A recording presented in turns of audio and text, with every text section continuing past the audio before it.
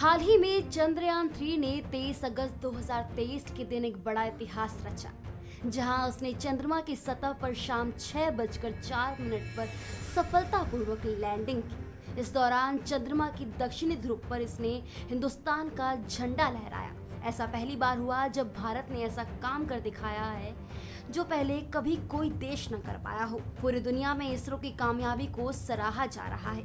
लेकिन अब सवाल ये उठता है कि चंद्रयान थ्री से अब तक क्या क्या जानकारियाँ मिली है? साथ ही इससे जुड़े ये सवाल भी पूछे जा रहे हैं कि कब तक विक्रम लैंडर चंद्रमा की सतह पर एक्टिव रहने वाला है। अगर आपके मन में भी कुछ ऐसे सवाल हैं तो आज आपके लिए हमारा ये वीडियो फ़ायदेमंद होने वाला है। आपको बता दें कि जैसे ही चंद्रयान थ्री चंद्रमा की सतह पर उतरा, उसके कुछ समय बाद ही प्रज्ञान ने चंद्रमा की सतह पर अपनी छाप छोड़नी शुरू कर दी, जिसकी कुछ तस्वीरें सोशल मीडिया पर काफ़ी तेज़ी से वायरल भी हो रही है। वहीं इससे जुड़ी कुछ एक तस्वीर भी सामने आई है, जिसमें साफ़ तौर पर देखा जा सकता है कि लैंडर के पैर की परछाई चाँद की सतह पर नज़र आ रही है। और जिस सतह पर लैंडर उतरा है, वो बिल्कुल समतल दिख रहा है।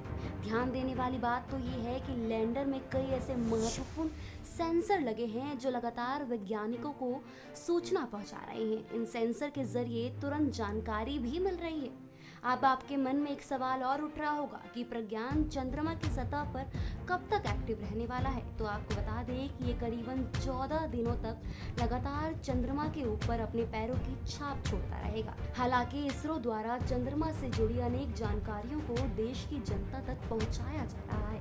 जहाँ इन जानकारियों को लैंडर में लगे कई कैमरे के ज़रिए इकट्ठा किया जा रहा है। अब आपको जानकर हैरानी होगी कि चंद्रयान थ्री की अपार सफलता के बाद अब भारत सूर्य की ओर बढ़ेगा।